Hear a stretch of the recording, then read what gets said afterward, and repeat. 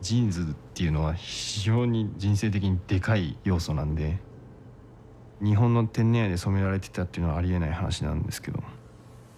無理やりこう2つをくっつけたっていうのが僕の役目というか僕のアイディアだったのかなっていうのは思いますね。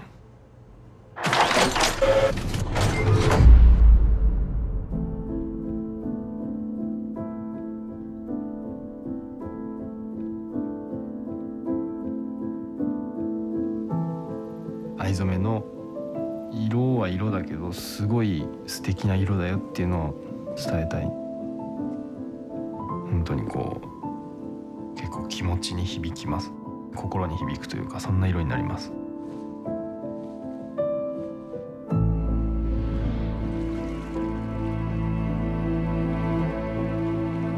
染料の勉強をし始めて天然染料に興味を持ってその中でも非常に特殊な技法でやられてる天然染料。だったらその藍染めやってみたい。日本には日本でスクモ法っていう技法での藍染めが主流だったんですけど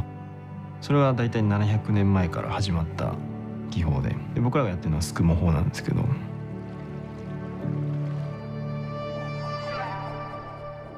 染料がどういった工程で作られているかというとまず畑の土作りから始まるんですけどそこから種まきが行われて苗を作ってその苗を畑に定植して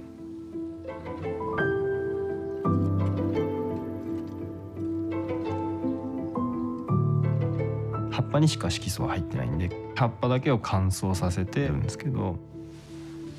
作ってる染料っていうのはそのすくもっていって葉っぱが発酵して見た目土みたいな感じなんですよね。そこから藍色が綺麗な藍色が生まれるっていうのがやっぱ信じられない。考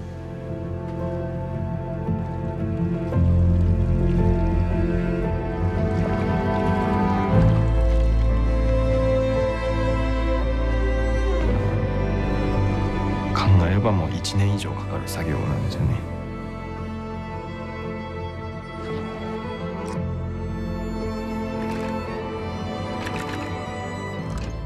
ジーンズの歴史の始まりとしては北アメリカで炭鉱に出る男たちの作業着として作られたものだったんですけども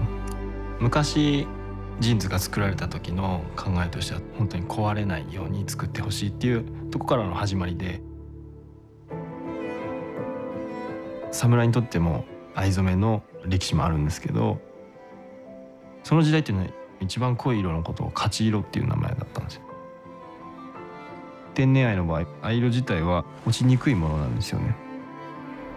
100年前とかに染められたものなんだっていう風に見ればすごいそのものにパワーを感じて嬉しく感じるんですよね。